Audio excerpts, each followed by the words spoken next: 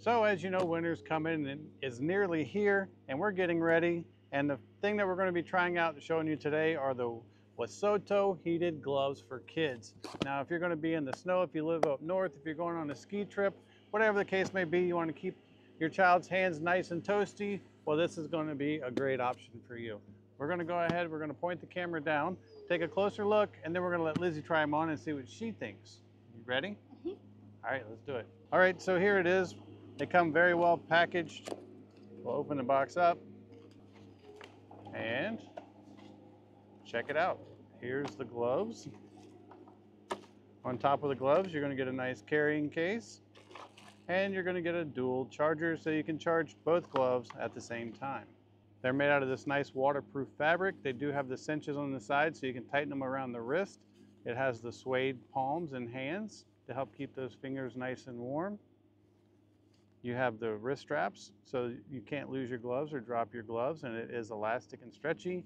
You also have the little loop here so you can help pull them on. And then inside right here, this part, this little pocket, this is where your battery pack is. And you just simply open it up like this. It's quite a large battery. You can unplug this and you plug it into the charger provided to charge it back up. Just that easy. And then here's the important part. To activate the gloves, right here, you have on and off.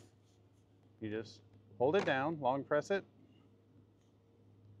and then you can tap it to go to medium heat, low heat, then back to high heat. And then you have four little dots on top that are your battery level indicator. And these are 70% charged because I haven't charged them all the way up yet. So we're gonna turn them on, put it on high. That's- Fits like the glove. fits like a glove. There you go. See, this hoop is big so you can hook your thumb on it so you can pull your glove on. Are they both on all the way? Mhm. Tell me when they start warming up. I'm a gingerbread man. Now they are a mitten and technically a mitten and not a glove. Just make sure that when you go to check out that you get the right size. They're warming up. They are. Where do you feel the heat at? Everywhere. everywhere. But overall, a very nice set of gloves. They work quite well. Her fingers are nice and toasty. It is only in the 40s here, but when we go back to Colorado home and it's snowing, she's going to be glad that she has these gloves. We hope this video helps, and thanks for watching. Bye.